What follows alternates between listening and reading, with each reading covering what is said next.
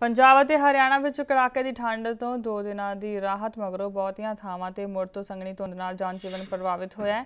ਦੋਹਾਂ ਸੂਬਿਆਂ ਵਿੱਚੋਂ ਪੰਜਾਬ ਦਾ ਅੰਮ੍ਰਿਤਸਰ ਸਭ ਤੋਂ ਠੰਡਾ ਰਿਹਾ ਇੱਥੇ ਘੱਟੋ-ਘੱਟ ਤਾਪਮਾਨ 2 ਡਿਗਰੀ ਸੈਲਸੀਅਸ ਦਰਜ ਕੀਤਾ ਗਿਆ।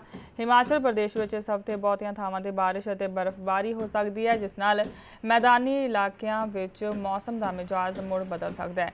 ਮੌਸਮ ਵਿਭਾਗ ਅਨੁਸਾਰ ਪੰਜਾਬ ਦੇ ਪਟਿਆਲਾ ਵਿੱਚ ਰਾਤ ਦਾ ਤਾਪਮਾਨ 5.6 ਡਿਗਰੀ ਸੈਲਸੀਅਸ, ਜਦਕਿ ਲੁਧਿਆਣਾ ਵਿੱਚ ਘੱਟੋ-ਘੱਟ ਤਾਪਮਾਨ 7.6 ਡਿਗਰੀ ਸੈਲਸੀਅਸ ਦਰਜ ਕੀਤਾ ਗਿਆ।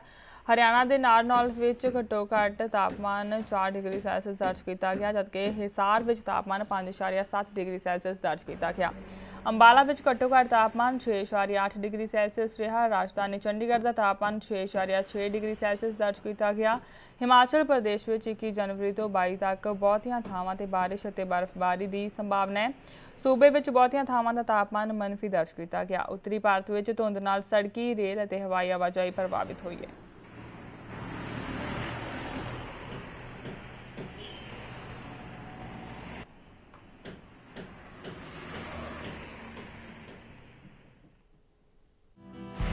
ਖਬਰਾਂ ਦੀ ਦੁਨੀਆ ਵਿੱਚ ਆਓ। ਸਾਡੇ ਨਾਲ ਕਦੇ ਵੀ ਕਿਤੇ ਵੀ ਜੁੜੋ।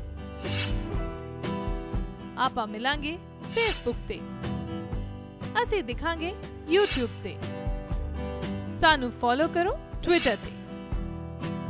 ਖਬਰਾਂ ਨਾਲ ਜੁੜੇ ਰਹੋ ਦਿਨ ਰਾਤ।